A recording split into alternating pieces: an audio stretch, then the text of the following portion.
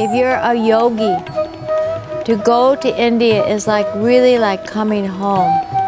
And to go to Rishikesh, the home of the yogis, is so like coming home to your own heart. I've found those who were unhappy, confused, didn't know what to do there with their lives.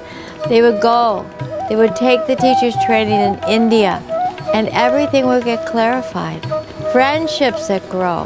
They'll never be replaced with anything better because you grew together like from children into these beings that had a sense of self-love and who they were and who they would be becoming and that they would go back to all corners of the earth. And I've traveled the world over and there's beautiful places and beautiful history, beautiful heritage, beautiful mountains, beautiful rivers, beautiful peoples. But there is nothing on this planet Earth like India. You feel really ancient, and yet you feel like a child.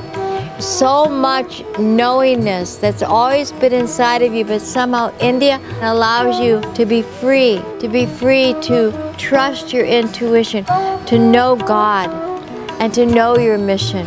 Years and years I've gone to India. Every time I'm with my friends or with students, we talk about it and we just start laughing and our eyes get so big. Those who haven't been, we just look at them and say, you just have to go. We can't explain it until you go. The days in teachers training are filled with laughter, spontaneity, taking breath walks up the mountain, going down to the Ganga and giving yourself to her water, sitting, meditating, asking the mother, the great river for answers, rising early, going to sadhana, eating really good food, and then we get to go out and we get to be in the marketplace and meet all the vendors. India captures the child in you.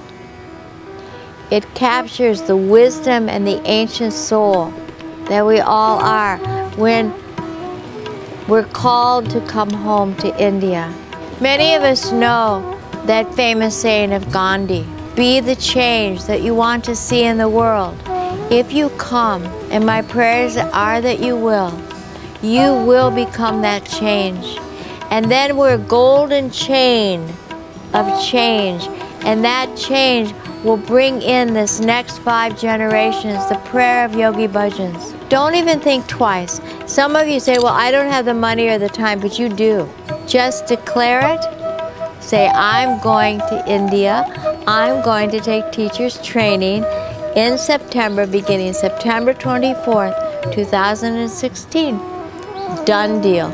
It's an adventure that begins and it never ends. India calls you home. Home to where? Home to yourself.